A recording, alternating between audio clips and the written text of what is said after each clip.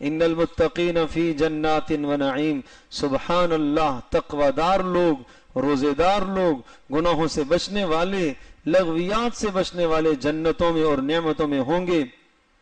और अल्लाह पाक उनको जो देगा, वो इज़्ज़त से खाएँगे और अल्लाह उन्हें जहन्नम के अजाब से बचाएगा और उनसे कहा जाएगा, खाओ, मज़े से खाओ जो तुमने दुनिया में मेहनतें की हैं, मुशक्क़तें की हैं, सब्र किया है। मुत्तकीन अला सुरुर मसफूफा, और टेक लगाए हुए आमने सामने बैठे हुए वजवजनाहुम बिहुरिन ईन और बड़ी बड़ी आँखों वाली हूरों से उनके निकाह कर दिए जाएँगे।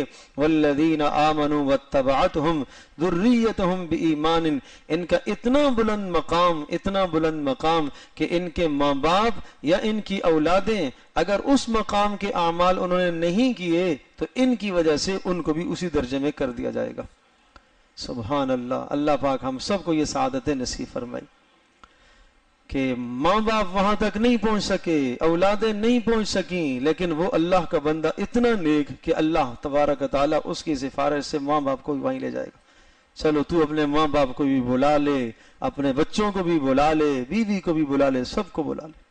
हाँ तो माँ बाप सादतमंद है वो माँ बाप जिनके बच्चे नेक होते हैं। जो बच्चे नेक होते हैं, इस उम्मीद से अपने बच्चों की तरबियत करो कि क़्यामत के दिन ये हमारे लिए ज़ख़ीरा है। क़्यामत के दिन ये हमें काम आए। ये अभी अब ये ये ये दुआ आपने कभी सुनी, तर्जमा सुना होगा। जो नाबालिग बच्चा या बच्ची का इंतकाल होता है तो उसके जनाजे पर क्या पढ़ते हैं? अल्लाह जालना अजरन वजुखरन अल्लाह, इसको हमारे लिए अजर बना। अल्लाह, इसके लिए हमारे लिए आखरत में जखीरा बना। अल्लाह, इसको हमारे लिए सिफारिश करने वाला बना। और अल्लाह, इसकी सिफारिश को कबूल किया जाने वाला बना। ये क्यों होता है? इसलिए कि आखरत में बहुत बड़ा जखीरा है, जिसका बच्चा इंतकाल कर जाए। आपने फरमाया, जानते हो, बांझ कौन है? तो साहबा ने कहा, बांझ वो है जिसकी औलाद ना हो। फरमाया, नहीं आखरज का बांझ वो है जिसका बच्चा कोई ना मरा हो, बचपन। बांझे। बच्चा पहले वहाँ जाके रहे हमवार करे, जन्नत के असबाब तैयार करे, अपने बच्चों को आलम दीन बनाओ, हाफिज कुरान बनाओ, हाफिज कुरान होगा, दस खानदान वालों की सिफारिश करेगा, आलम दीन होगा, सत्तर खानदान वालों की सिफारिश करेगा। और तरबियत करो, नेक बनाओ बच्चों को। आलिम के साथ साथ नेक होना ज़रूरी है। हाफिज के साथ साथ नेक होना ज़रूरी है। तरबियत करो। और तरबियत में बहुत बड़ा दखल है रिज्क हलाल का। अपने घर में हलाल रोजियाँ लेकर आओ। कम खाओ, कम खिलाओ, लेकिन हलाल खिलाओ। बच्चों को हलाल का आदि बनाओ, सब्र की तलकीन करो। उमर बिन अब्दुल अज़ीज़ रहमत ऐसा हाल आ गया कि घर में खाने को कुछ नहीं है और घर में दाखिल हुए तो बच्चियाँ थी, बच्चा कोई नहीं था बेटियाँ थी उनकी तो मुँह के ऊपर हाथ रखे हुए हैं, कपड़े रखे हुए हैं तो अहलिया से पूछा, ये इनको क्या हुआ? तो कहा, प्याज से इन्होंने रोटी खाई है, मुँह से बू आ रही है इसलिए। ये उस वक्त की बात है जब हज़रत उमर बिन अब्दुल अज़ीज़ रहमत की हुकूमत थी। बरसरे इकतदार थे। ईद का मौका आया, ईद के मौके पर कहा कि अहलिया ने कहा कि बच्चों के लिए कपड़े बनाने। फरमाया, मेरे पास हैसियत और गुंजाइश नहीं है। अमीरुल मोमिनीन है खलीफा राशिद जिनको कहा जाता है खलफा राशिदीन के बाद निज़ाम अदल काम, कायम करने वाले उमर बिन अब्दुल अज़ीज़ जिनके ज़माने में कोई जक़ात लेने वाला नहीं मिलता था। ऐसा आदल कायम किया था। तो कहते, मेरे पास नहीं है गुंजाइश, कहाँ से दू?